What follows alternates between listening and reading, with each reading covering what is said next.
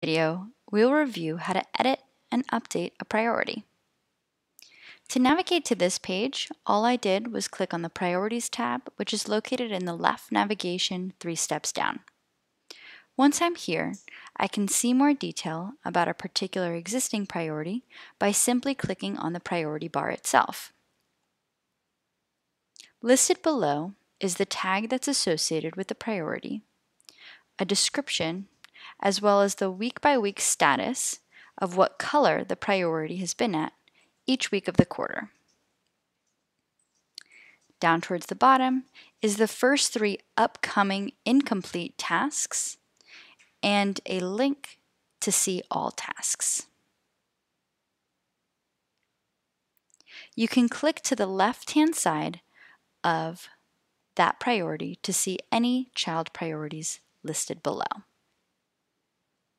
The three dots on the right-hand side of each priority will give you a menu of options. Edit, Add Child Priority, See Tasks, and Delete.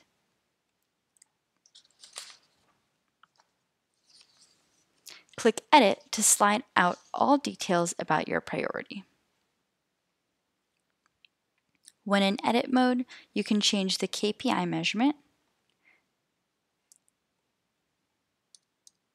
or check off any tasks. Click Save to make the change. Another easy edit to, to edit all of your KPI or OKR driven priorities at once is to click Update KPI Priorities at the top of your screen. From this screen, you'll have access to all priorities that you've been assigned. You can update any KPI priorities right here and then see any tasks that you have left to complete to be checked off on either your task sheet or in the priority itself. Continue to the next video to learn about the use of daily and weekly huddles.